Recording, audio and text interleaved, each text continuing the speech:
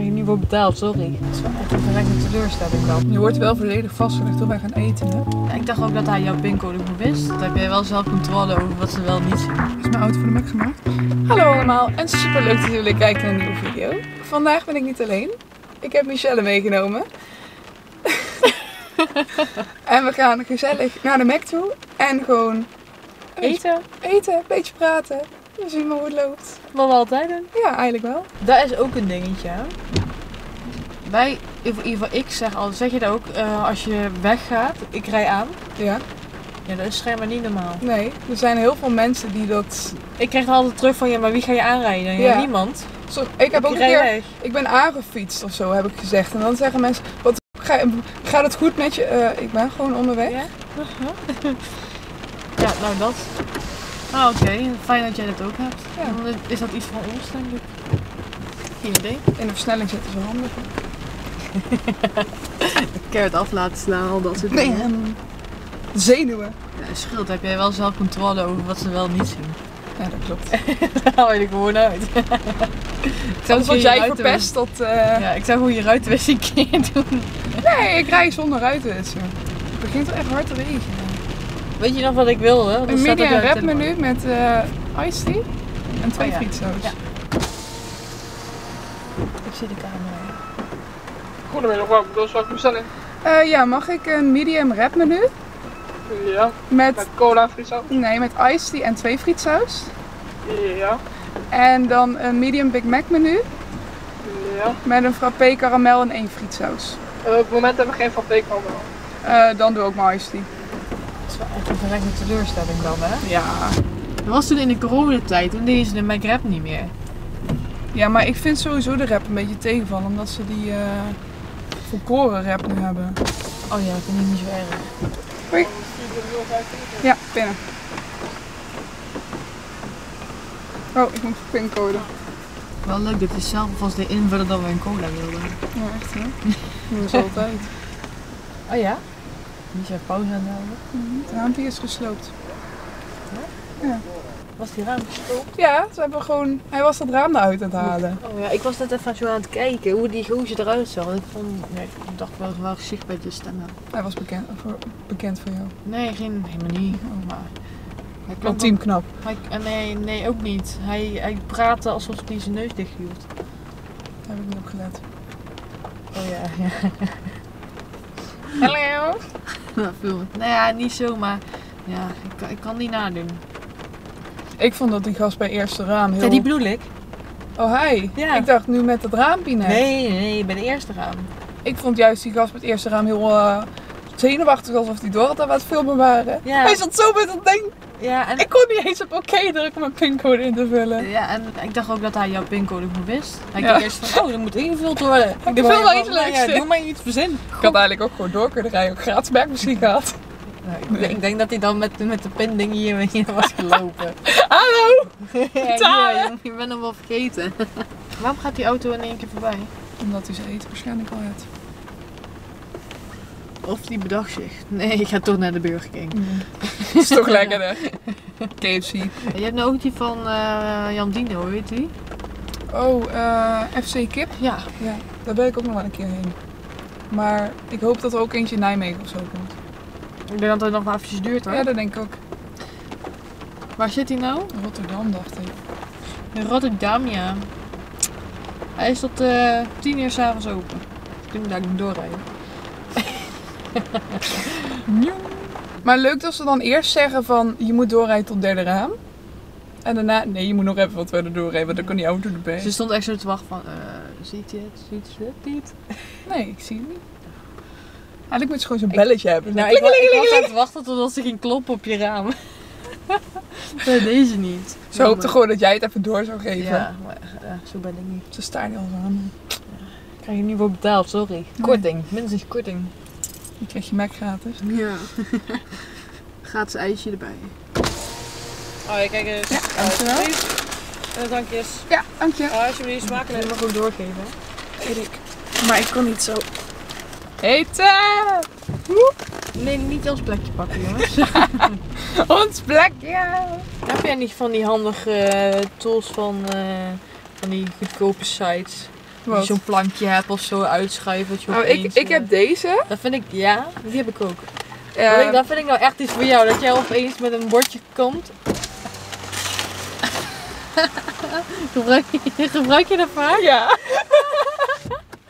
Oh, die vind ik wel geniaal. ik heb dat ding. En eh, dat was het. Ik vind ook nog wel iets van jou dat jij opeens... En dat, dat koekjesmatje. Ik vind ook wel iets van jou dat jij zo, zo opeens uit het laadje zo'n ding pakt en dan zo hier en dan daar je frietsaus in doet of zo. Nee, die heb ik dan weer niet. Oh ja, maar we hebben geen bakje nu voor de klote frietsaus. ja, heb je een schaar? Nee? Ja, nee. Ik niet. Nee, ja, nee. Misschien. Ik heb mijn werktas bij, daar kan zomaar een schaar in zitten. Want dat was best wel een slim ding wat ik ooit gezien had. Die deed hem dan zo door de, zo door de helft dan knippen. Oké, wat wil jij? Wil je frietjes? Ik wil mijn frietjes eerst. Mag ik ook mijn frietjes? Nou dat. Ik dacht ik begin alvast. Ja, ik merk het. Even proeven. Ja, dit is je hamburger. Dank je. Frietjes! Waar gaan we? hey, kijk eens. Waar heb je nou weer gevonden? Ja, jouw auto is ervoor gemaakt. Is mijn auto voor de Mac gemaakt? Ja, kan. Hm, bij jou niet. Nee. Bij mij wel. Hij past er perfect in. Voor de bijrijder heb ik bedacht. De bijrijder mag Mac eten. Ja.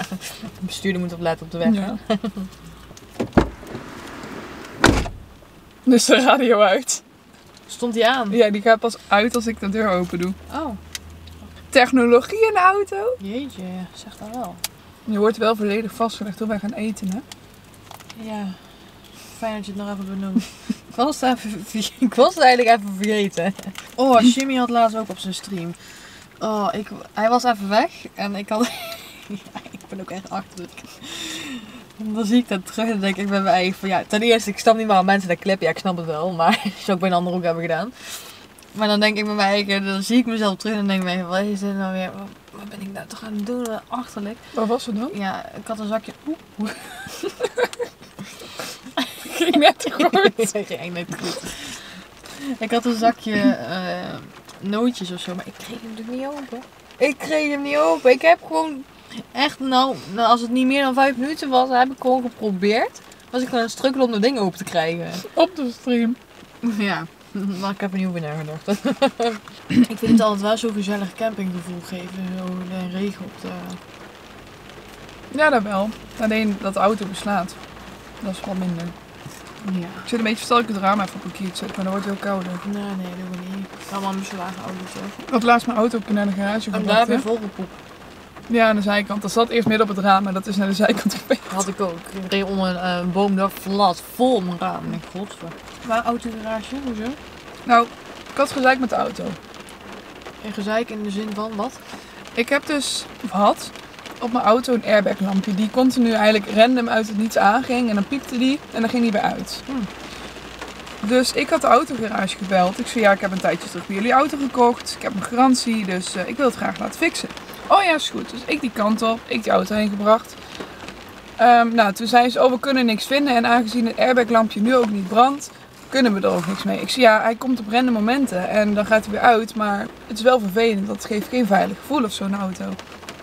Nee, oké. Eh, we kijken nog wel even. Uiteindelijk zei ze, ja, we hebben alles nagekeken, maar je kan de auto weer opkomen halen. Toen ben ik samen met Trudy naar Rotterdam gereden. Twee auto's achter elkaar, mijn auto afgezet en weer terug naar Nijmegen. Nou, dat is gewoon een rijden. Heb je deze auto in Rotterdam gehaald? Nou, Maar maar dacht dus, je, ik zoek het lekker dichtbij. nou, hier was deze auto, in Rotterdam was die auto te koop en ik wou deze auto hebben. Ja, oké. Dus Je ja, moet er iets voor hebben. precies. En ik had al een half jaar garantie. En ze zeiden, ja, als je hem koopt en er is iets kleins in de hand, mag je ook bij een garagezaak in de buurt. Maar nu zeggen ze in één keer, nee, dat mag niet. Maar dat maakt niet uit. Maar dus eh, uiteindelijk, ik de studie later weer opgebeld. Ja, ik kan de auto ophalen. Gingen de volgende dag gingen we de auto weer ophalen. Dus wij om 8 uur 's ochtends weer die auto in. Richting Rotterdam. Nou, voordat je een keer thuis bent, is het 11, 12 uur zoiets. Ja, je hebt als niet later. een halve dag erop zitten. Precies. En kapot, twee dagen achter elkaar vroeg op, amper geslapen. Je weet het wel, veel gereden. Vermoeiend. Dus ehm, iets later, twee weken later, kwam weer dat airbaglampje in beeld. Dus ik weer die garage gebeld. Ik zei ja, ehm, ik heb... heb snel gegeten. Ja, was lekker, ijsje. Maar dus twee weken later, ik weer hun gebeld. Oh ja, in januari kun je de auto wegbrengen. Nou, oké, maar ik ga niet weer een pleuriscent heen en weer rijden. Nee. Jullie zeiden, want ik had vorige mensen afgesproken, dat hun de auto zouden oppikken met een oplegger, zodat het mij geen benzinekosten gaat kosten. Nee, oké, is goed, dan komen we oppikken met de oplegger. Nee, maar goed, op die en die dag. Je krijgt van de dag van tevoren uit te horen wanneer we de auto komen ophalen. Ja. De dag van tevoren heb ik nooit een telefoontje gehad. Oh, fijn. Dus ik belde de dag geen sms'je, mailtje. Helemaal niks. Ik belde de dag zelf naar hen op. Ik zei, ja, jullie zouden vandaag mijn auto op komen halen, maar ik heb nog niks gehoord hoe laat het zou worden. Oh, je weten wij niks vanaf.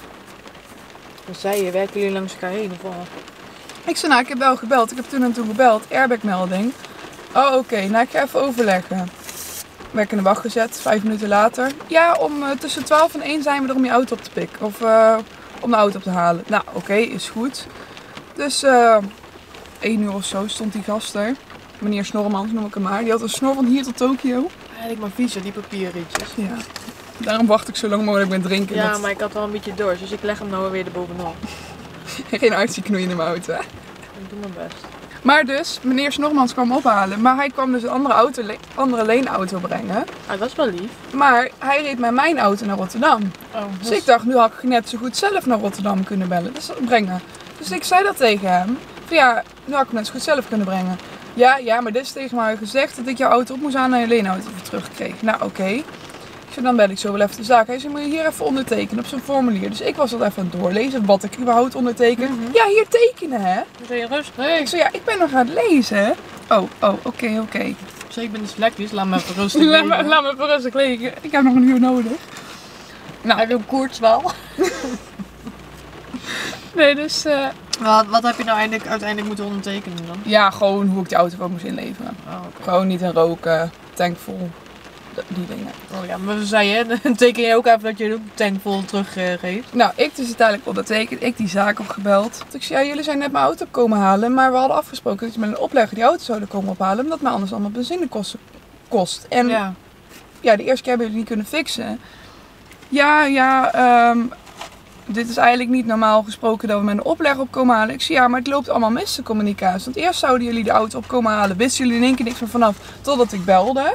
Daarna is het weer dat het misloopt, omdat jullie met een oplegger zouden komen ophalen. Uiteindelijk kom kijk een leenauto. Nou, dat hadden we netjes afgesproken, maar het is gewoon, het loopt niet helemaal zoals het moet lopen. Mhm. Nee, oké. Dus ik wil mijn auto gewoon terug met een volle tank. Dan, als jullie heen en weer naar Rotterdam rijden. Ja, ja, nee, daar overleggen we nog wel even. Ik zei, nee, anders, dat krijgen spreken jullie we... anders krijgen jullie de auto ook niet terug met volle tank. Nou, ik zo, de, bespreken wij deze af. Nou, oké, is goed. Je krijgt hem terug met een volle tank. Nou, fijn om te horen. Week later werd ik pas teruggebeld.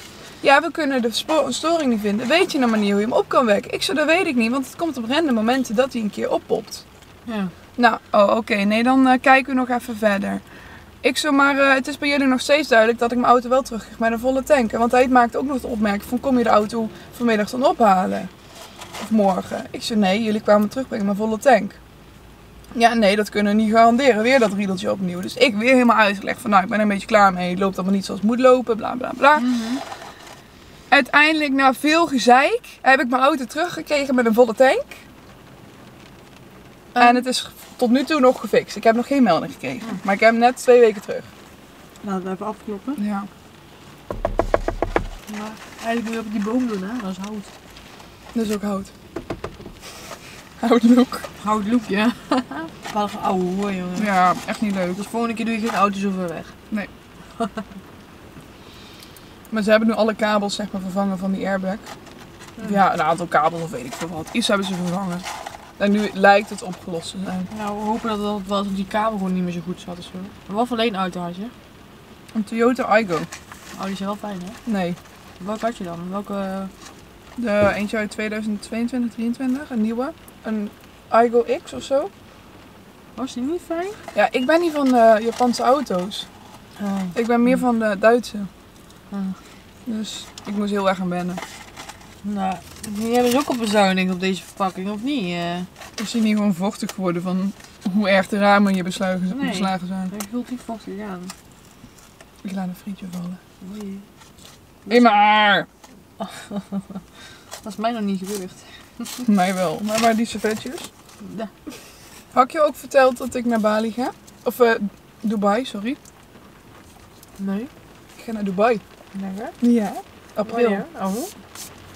17 april vliegen we die Mhm. kant op. Maar ik kom wel uit mijn nachtdienst. Met wie? Arno. Leuk. Voor het negen dagen. Ja, negen dagen. We wou eerst tien, maar negen was net iets, een stuk goedkoper. Dus toen zijn we gezegd, nou dan gaan we negen dagen. Ja. Maar de 17e, 16 op 17 heb ik een nachtdienst. Dus de 17e kom ik 's ochtends uit mijn nacht. En om half vier 's middags Ja. moeten we op Düsseldorf eh, op het vliegtuig zitten. Maar op zich prima te doen. Dat klopt, maar we willen wel een beetje 12 uur die kant op rijden. Ik denk Mm. wel iets eerder. Dus ik heb maar wel kort slaap. Maar ja, Mooi Dan heb- Arno laten rijden. hè? Kun Ja, je dat- slapen in de auto? dat wou ik ook doen. En dan rij ik op de terugweg, heb ik afgesproken met hem. Maar ik heb er wel echt zin in. En het, was helemaal, leuk. het was helemaal niet zo heel duur. We hebben gewoon geluk gehad. Normaal betaal je echt 1500 euro als het niet meer is. We hebben voor 800 euro per persoon. Alles. Met slapen. Slapen en ontbijt. We moeten wel daar nog avondeten en zo. Maar ja, wij vinden het wel leuk om een beetje rond te lopen. Ja. Wauw. Ja. Dat is wel heel, heel veel. En het is één vlucht, want we hadden eerst eentje gevonden, maar dan had je twee vluchten en dan een tussenstop van, tussenstop van vier uur. En dat was wel kut. Mhm. Maar nu hebben we dus dat we gewoon in één keer doorvliegen. En dan ben je er een zeven uurtjes of zo. Dus dan landen we. Zeven uur vliegen. Ja, zoiets. Dus dan landen we s'avonds rond. Ja, 9 uur Nederlandse tijd. En dan die tijd. eh, Nee, ik weet niet. 11 uur of zo, maar dat Er is zit weer- iets van tijdsverschil bij. Er zit iets van tijdverschil. Ik kan niet zien wat er om ons heen gebeurt. Alles is beslagen. Ik denk ook, ik wil een toeten, maar... Ja, waar komt die vandaan? Oh, ik zie het niet. Gaan we daar nog een rondje voor een ijsje? Ik heb genoeg al. Volgens mij zit er gewoon zo'n klein kind eh, die eh, aan het toeteren is. Oh, kan ook. Is dat veel, hè? En het ergste is, over een kwartiertje, nee, een kwartiertje overdreven. Nog vijf Oh, minuten. Half uur, ja. Half uurtje, uurtje, en dan zit je, dan denk je van, ja, ja. Ja, ik lust nog wel even wat.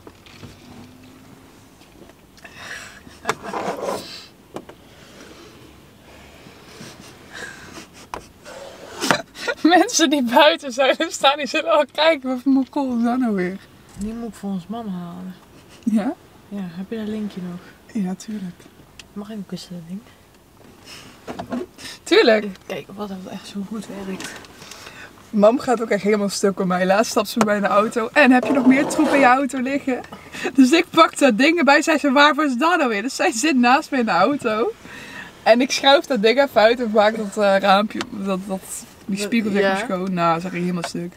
Dat snap ik. Je denkt ook echt wel, wat voor kinderen heb ik dan? Ja, dat denkt ze af te werkt. Oh, alles bekijken. Hij is toch best stevig ook als hij uitgeschroefd Ja.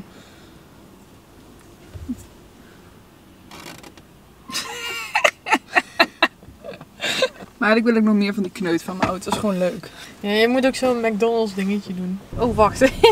Wil je...